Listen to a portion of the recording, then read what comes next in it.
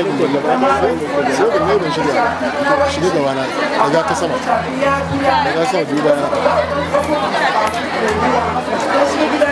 ka san ai na da kuma gaba ka san ma ya su gani ba wanda ke gani a baya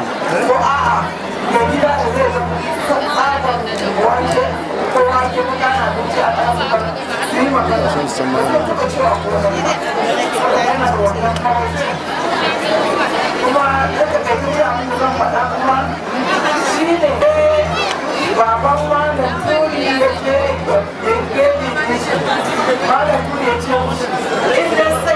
da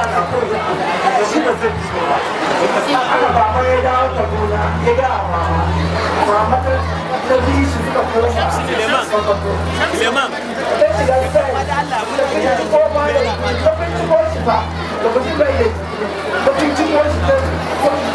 da cikin mota ta sa a tsakiya baba na gefe ita na gefe yana kuka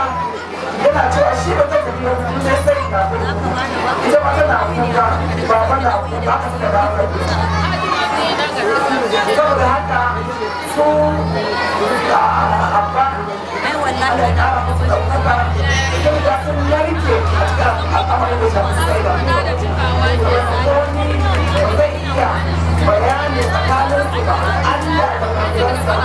ka ɗaya san tsakanin su wata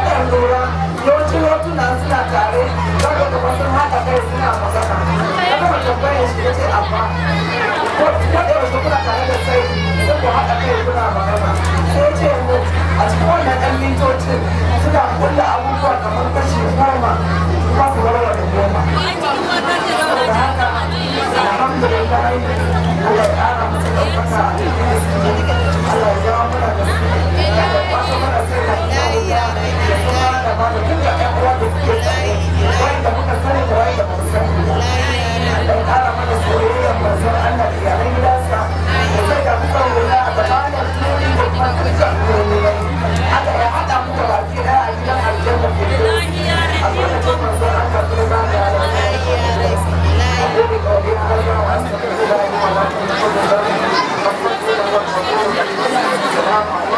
rayuwar da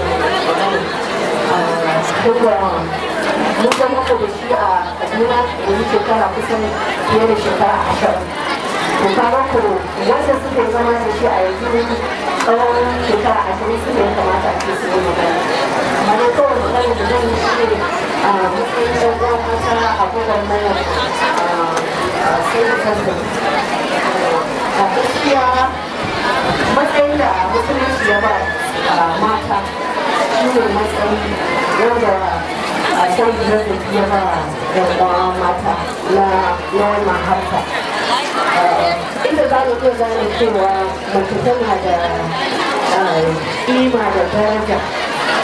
A wurin Allah Allah bai bambanta ta tsakaninta da namiji ba illa a halitta.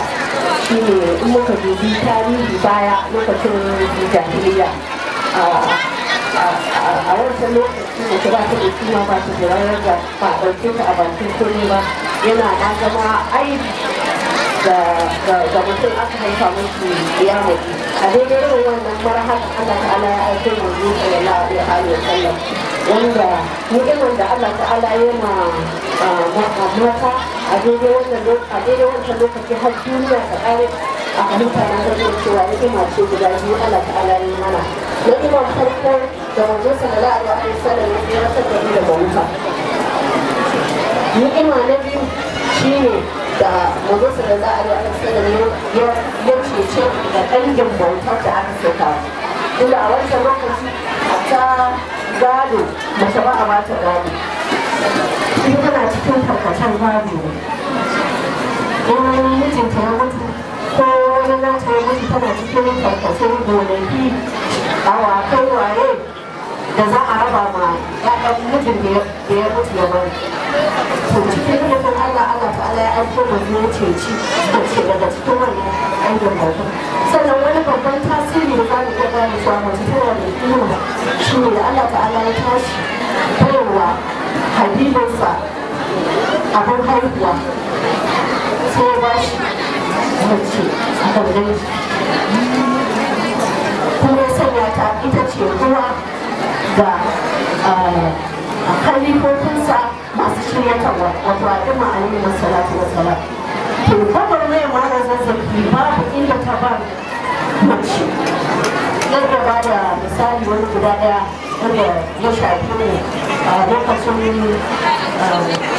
da aka asasa ma'asasatun shuhada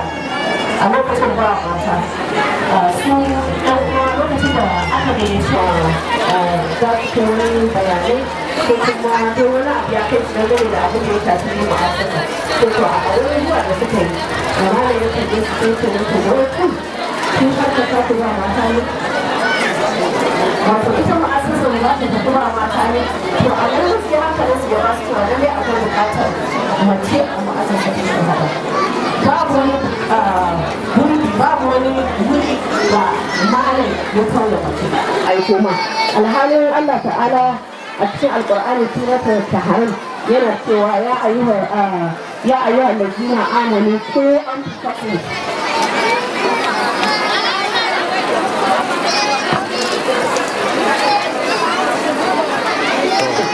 ita hajiya tana komawa gida gidansu family house ne. Akwai iyayen mijin. Akwai yayyan mijin akwai waye. Yaro ya yi ya zauna a kan mafi bayan gida. Sai ta ce ya fito ya je ya wanke ya wanke mai. Ya ce ne a kan aka ce ta ce a sai ya wanke wanke bayan gida yake yi kaza. Da aka kai ma sai ta fito kawo samu wuri ka zauna a nan gudu misali. Zauna nan.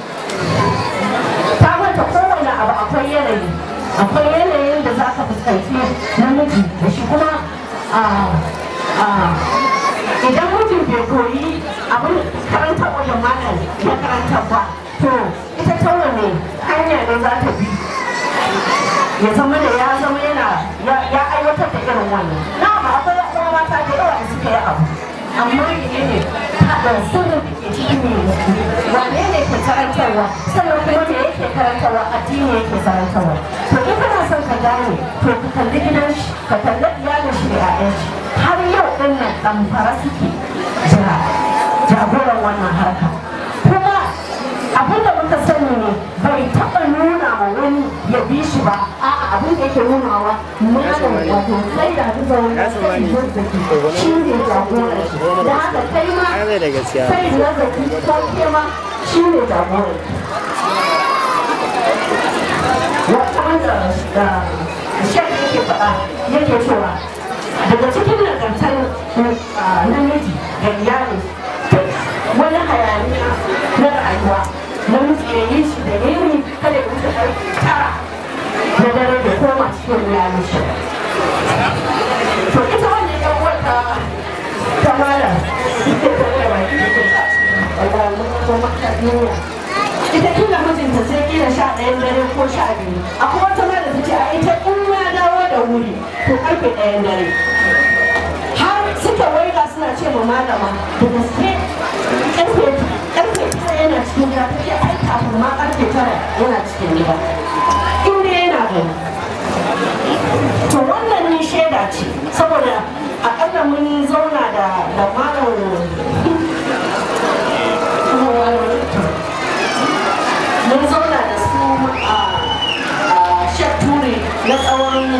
shekara biyu a gida ɗaya.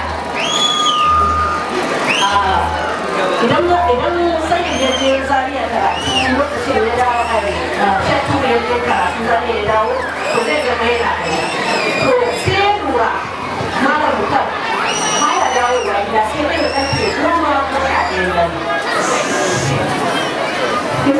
sai lura sai ce ma malama ta tambaye ni me yake sa mana mutum baya dawowa gida sai ƙarfe goma ko sha ɗaya to a daidai lokacin ba san me yasa yake kashi da ɗin ba to da ya dawo gida sai ya ce to ga abin da malama ta ce ta ce malama ya ta tambaye da musa yake cewa goma ko sha ɗaya dare sai ki ba na asa to ashe da suka haɗu washe gari da suka haɗu sai yake gaya masu malam daga bayan malama take gaya mu abin da ya faɗa cewa abin da yake kai shi dare kusan ɗan uwa a lokacin komai nasu gwagwarmaya ne hatta raba aka ce neman abinci ba su da shi.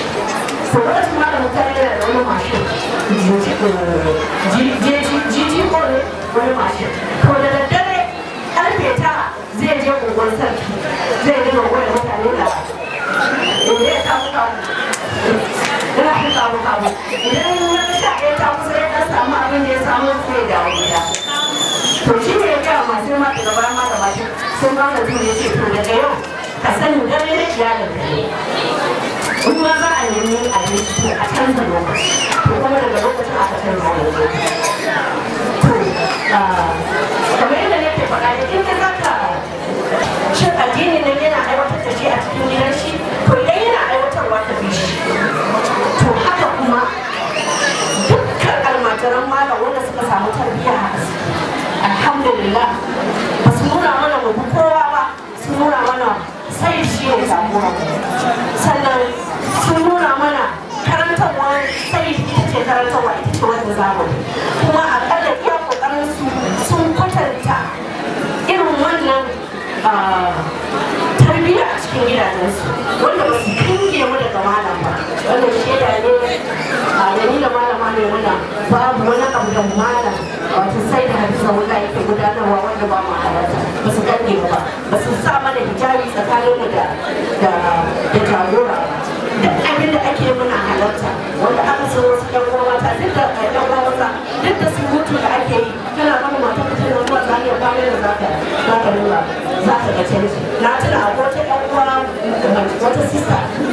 da take zuwa tana zuwa markas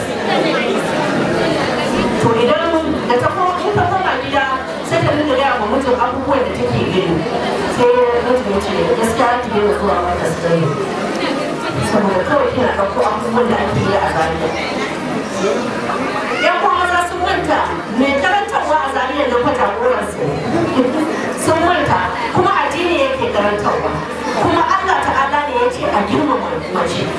Manzo sallallahu alaihi wa sallam a hajje shi na kwana a alfa a alfa cikin hudubarsa a cikin abin da yake cewa alaikum bi ikramul nisa. Ina muku gargaɗi da girmama mata. Imam Khomeini Allah ta'ala ya kara masa daraja da ɗaukaka. Cikin shi ma wasiyarsa abin da yake cewa ku girmama mata ku girmama mata. Kuma na yi imani sai da hafiza wallah shi ma da za mu wasiyar shi za ta fito ciki sai ya ambaci a girmama mace a girmama mace saboda menene? Mace ita ce al'umma. Idan mace ta lalace al'umma ta lalace. In ta gyaru al'umma ta gyaru. To ga wannan harka sai da hafiza wallah Allah ta'ala ka gaggauta kuma ta mana shi da hannu waɗannan su yanzu da alamu ka ba shi lafiya lafiya daga wurin ta da shi da iyalinsa. Sannan ɗan uwa.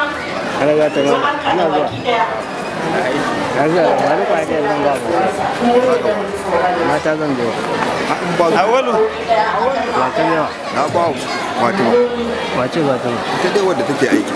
a aya ko wata ma kawo akwai wani tun na gida take take Ya kare. shi shi jagoran wannan harka sannan a yan uwa mun fara shi da shi daga farko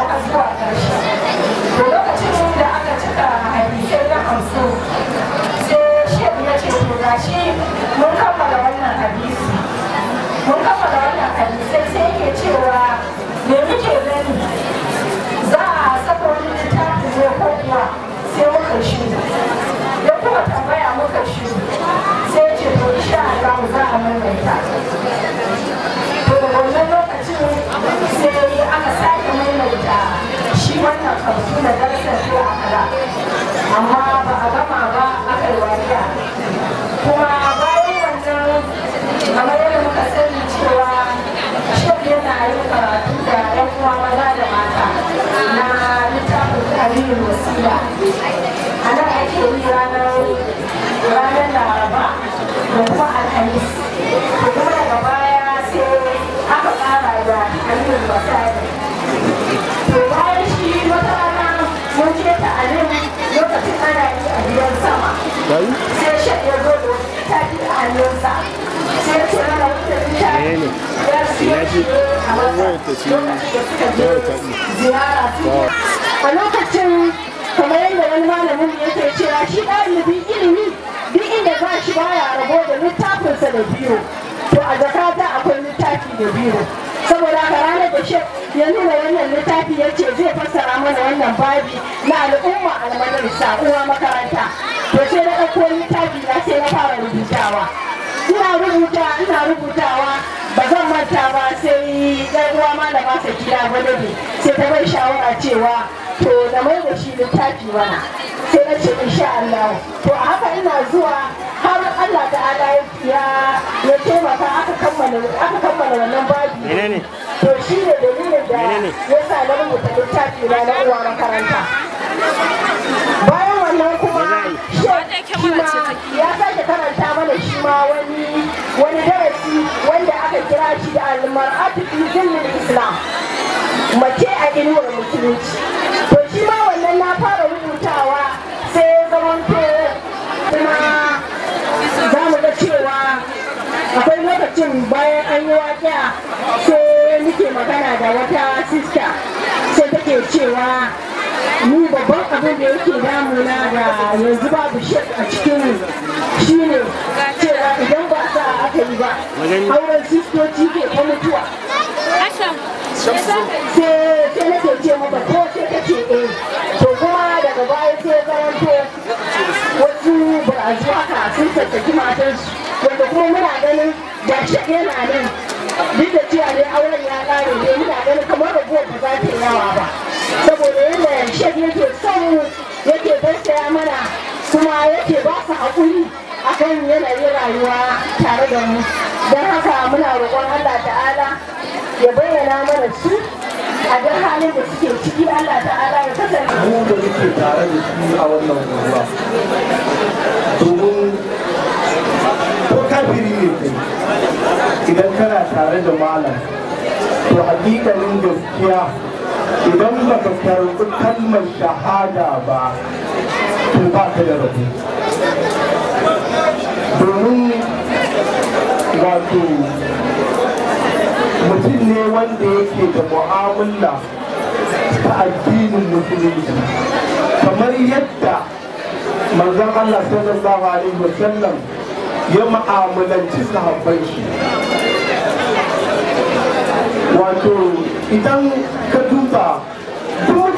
suke tattare da malam mahmud turi.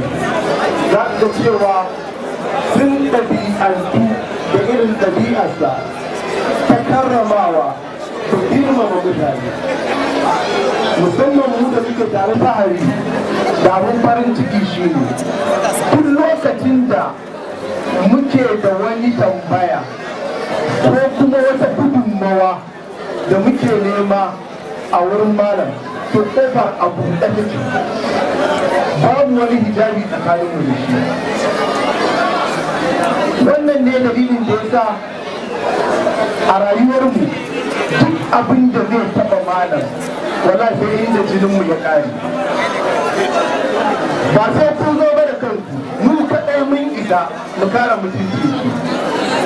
Kuma abin da yake bani wato kullum idan na kalli tasawira da kuma irin tafiya ta malam zai ce ko da yake ba zan yi wannan magana ba. Maganar da zan yi a nan ita ce shine muna roƙon Allah da gaggauta bayyana mana malam. Domin mu mun sani wallahi billahi wallahi azim malam yana rayu ko ku yadda ko kar ku yadda wannan yaƙini ne wanda muke shi. Kuma ba daban da zai yi zazzaki ba. Da sai in ce malam turi shine gamsar zamani. Domin ya cancanta kujerar ta dace da shi. Duk inda wani yake cikakken ɗa mai ilimi na addini da boko mai karramawa mai jaddada tutar la ilaha illallah to malam ya kai. Domin wani lokaci muka ziyara wajen malam. Hubbu na biyu ku san annabin nan da san ahalin gidan da karatun alkur'ani wannan maganar shek ali harazimi ya gaya mana. To ya aka ta zama disentin tare iri ɗaya? Ya aka alama ce ta gausiyar zamani. Ni a waje na fa amma ban ce kowa ya yi ta ba. Don haka ina masu godiya a madadin dukkanin matasa da suke wannan unguwa ta da kuma yi muku godiya bisa kulawar da malam yake bayarwa tun yana nan. Kafin hijabi ya rufe shi shi ya rufe kanshi da hijabi. Mun sani wannan. Babu wani da da zai iya zuwa ya ɓoye malam sai in shi ne ya so ya ɓoye shi. Turiyan ba shi ne ku gane wane ne shi. Wannan shi ne ƙuyar ba komai ba. Ku gane menene darajar zaman da kuma mun baya nan. shi alama shi ne hujja ta ƙuyar malam. A haka duka kuna iya kwatantawa na ci gaba da mu'amala kamar yadda malam yake mana. Amma ko kusa ko alama ba za ku ba sai in ya dawo. To muna godiya. Allah ya saka muku da alheri. Ubangiji Allah ya sa ilimin da malam ya ba mu nan gwargwado a zaman da muka yi Allah ya sa mu mutu tare da shi ya yi alfahari da mu a zaman da muka yi da shi. Allah ubangiji ya sa shekara mai zuwa da malam za mu yi wannan bente a nan ubangiji Allah muna roƙonka malam zagzaki Allah ka kwato shi daga hannun azzaluman shugabanni. Allah burin da yake da shi na jaddada gidan ma'aiki Allah ka tabbatar da shi a ƙasar nan. Allah kar ka gaji da shi. Allah ka sa muna cikin tutar